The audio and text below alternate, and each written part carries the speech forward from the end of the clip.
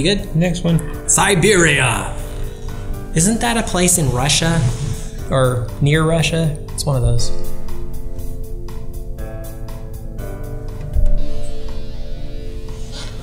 Oh, it's been approved.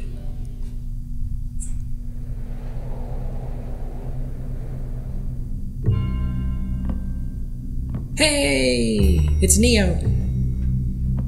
Where's the sample? Volkov isn't a good man to disappoint. Oh, it's Littlefinger.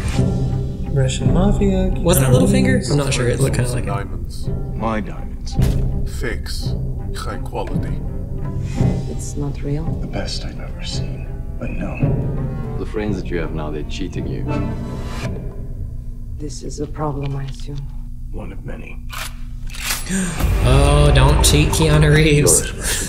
Don't mess with John to Wick. a. Mm-mm. A single diamond.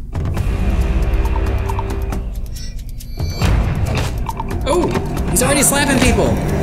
We're still in the trailer and he's slapping people. Before it's too late. You're in some sort of trouble, I think. If I can just draw on your patience. Patience, Mr. Hill, is like air in a silk roll.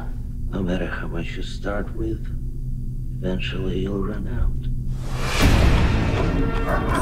Sounded like that was supposed to be really clever and it wasn't. Come on in. Let's do business. The diamonds are good.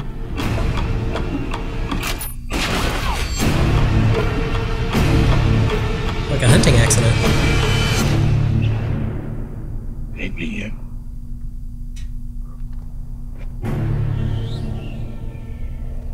You swear loyalty by becoming blood brothers. So if we're not brothers, maybe we're not friends either. Definitely not Littlefinger. I called that wrong. My bad. I don't know. It looked very uh, So I was really very confused. generic I was very confused because I mean they they kind of had set up a plot going that somebody duped him with some fake diamonds and I was down with that. That seemed fine.